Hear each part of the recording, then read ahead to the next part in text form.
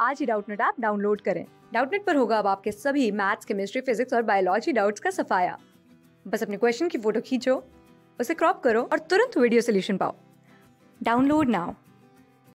सो guys हमारे पास यहाँ पर जो क्वेश्चन है, उसमें हमें गिवन है that determine the equivalent weight of the following oxidising and reducing agents तो दोनों केसेस में हमें जो है पोटेशियम परमैंगनेट गिवन है। एक में एसिडिक मीडियम में गिवन है और दूसरे में न्यूट्रल मीडियम में गिवन है। सो so, डिफरेंस क्या है कि बेसिकली जब एसिडिक मीडियम में हम K M N O four use करते हैं तो वो M N O four negative से एम एन टू पॉजिटिव में कन्वर्ट होता है। वेर एज जो न्यूट्रल की केस में हम यूज़ करते हैं न्यूट्रल मीडियम में यूज़ करते हैं तो M N O four negative जो है वो एम एन ओ टू में कन्वर्ट होता है। तो इक्वलेंट वेट का हमें फॉर्मूला पता है सबसे पहले हम वो लिख लेते हैं। We know that equivalent weight is equal to molar weight जो हमारा मोलर मास होता है या मोलर वेट होता है हमारा वो divided by the valency factor ये होता है। सो so, हमें इक्वलेंट वेट कैलकुलेट करने के लिए मोलर वेट चाहिए और विलेंसी फैक्टर चाहिए। तो विलेंसी फैक्टर हम कैसे कैलकुलेट करते हैं? बेसिकली विलेंसी फैक्टर जो होता है अब क्योंकि ये एक रिडॉक्स रिएक्शन है ऑक्सीडाइजिंग रिड्यूसिंग एजेंट्स के केसेस में हम क्या लेते हैं? Valency factor is equal to the change in oxidation states the change in oxidation state for oxidising and reducing agent तो ये क्या हो जाएगा हमारे पास? फ़र्स्ट पार्ट में, जब के एम एन फोर को हमने एसिडिक मीडियम में यूज़ किया, इन एसिडिक मीडियम जब के फोर को यूज़ किया तो उस केस में जो ऑक्सीडेशन स्टेट का चेंज है, वो क्या हो जाएगा? M N O four negative से क्या कन्वर्जन हो रही है?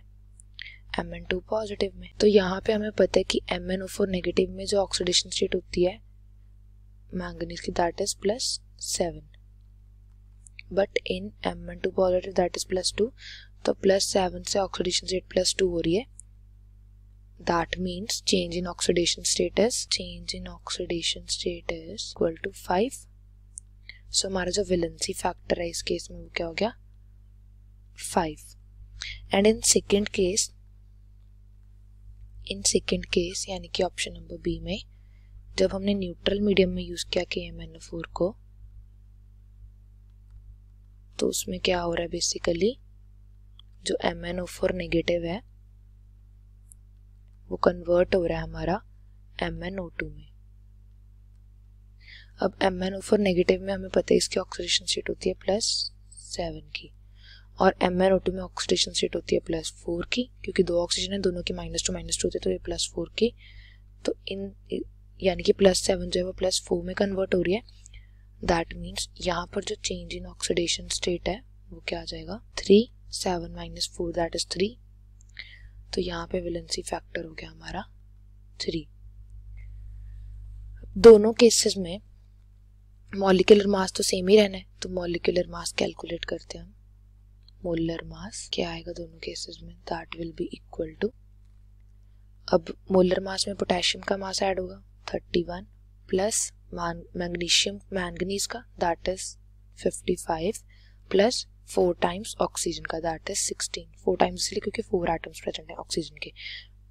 तो ये हो गया हमारा मोलर मास सॉल्व करके ये हमारे पास आता है one fifty this will come out to be 158 gram पर मोल। तो ये हमारा मोलर मास हो गया। नाउ अब दोनों केसेस में जो इक्वलेंट वेट है, वो क्या क्या हो जाएँगे? In option number A the equivalent weight is equal to 158 divided by 5 क्योंकि वैलेंसी फैक्टर क्या था? 5 था हमारे पास। तो ये क्या हो जाएगा हमारे पास? Thirty one point six gram per equivalent ये हो गया हमारा इक्वलेंट वेट सेकेंड केस में हमारा जो इक्वलेंट वेट है वो क्या हो जाएगा? E is equal to 158 molar mass divided by three क्योंकि वैलेंसी फैक्टर क्या था? थ्री तो ये क्या आ जाएगा हमारे पास? 52.67 ग्राम पर इक्वलेंट तो हमारा जो आंसर होगा that is 31.6 in case of acidic medium and 52.67 in case of neutral medium thank you. Class six twelfth से लेके NEET I I T JEE mains और एडवांस के लेवल तक। दस मिलियन से ज़्यादा स्टूडेंट्स का भरोसा।